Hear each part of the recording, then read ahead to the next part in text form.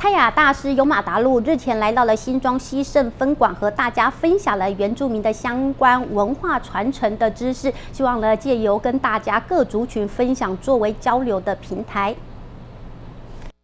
为传承原住民文化，推动母语阅读教育，新北市立图书馆特别请到泰雅之意大师尤马达路到新庄西盛分馆，希望能让民众更了解原住民文化，感受丰富的原乡文化飨宴。我希望你是一个推动火把的手，因为你要延续他们香火，所以我们就把这样的期待放在我的身上，放在女儿的身上。妈妈的叮咛，对，在让她带着走，所以我们的每一件衣服都像一个会走动的书。所以，对于台台湾的朋友来讲，这是不是一个非常宝贵的经验？非常宝贵的一个内容。是。所以今天在讲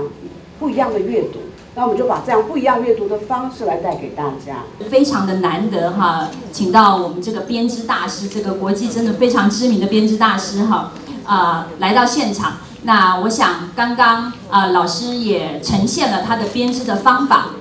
我想各个文化它的传承非常的重要。那尤其原住民文化，因为它是没有文字的，必须经过亲身的体验哈，才能呃把这样的这么珍贵的文化传承下来。活动除了有传统服饰制作示范，也有静态展导览与认识原住民饮食文化。现场也邀请到许多里长跟议员一起共享盛举。几个长老看着我，从不太懂事。